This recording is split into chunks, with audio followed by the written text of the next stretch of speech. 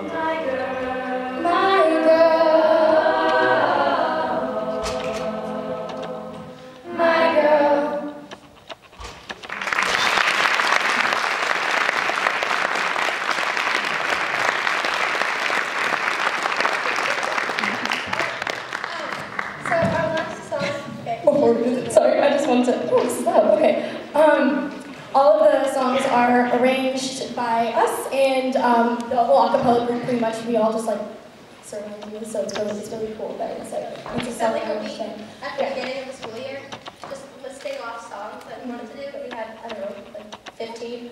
So we had, we had to narrow We it down to three. We wanted to do a non-Christmas song, um, just you know, we don't have more or something. For Colorado. Yeah, and it's a uh, classic, obviously, So, um, Our last song is going to be All I Want for Christmas Is You. And our soloists are going to be Karina and Hannah Booth. Um, and this is probably going to put a lot of strain on our voices. So this is where the voice cracks might happen. But we're going to do excellent.